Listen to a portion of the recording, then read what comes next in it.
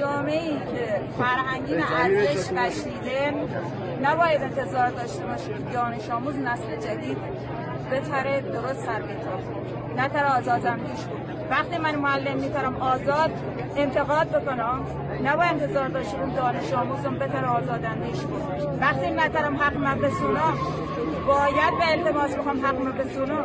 چه انتظاری به نسل آینده داشته بود یعنی ترم این نسل تربیت بکنم؟